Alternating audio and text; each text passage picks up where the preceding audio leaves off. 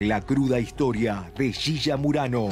Algunos la recuerdan a Gilla por aquellos titulares de hace 17 años que decían Gilla Murano la envenenadora de Montserrat.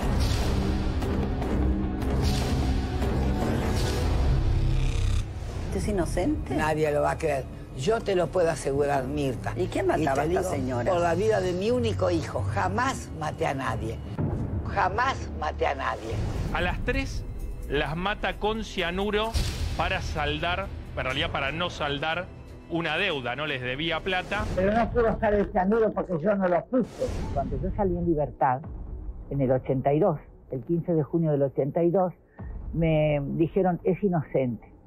Todos decían es inocente. Eh, había, eran tres años y 45 días que estuve. Muchas muertes me han puesto.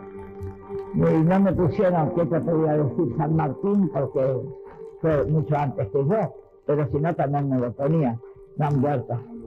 Además, te voy a decir, no sabés que las famosas masas nunca existieron. Sos muy simpática por una sola razón, que no maté a ninguna. Por eso le pueden decir a Solita que no tenga miedo. Y en todo caso pagaste una condena larga. Pagué la condena, pero me sirvió de mucho. Yo después me hice experta en cianuro porque todos me vienen a contar.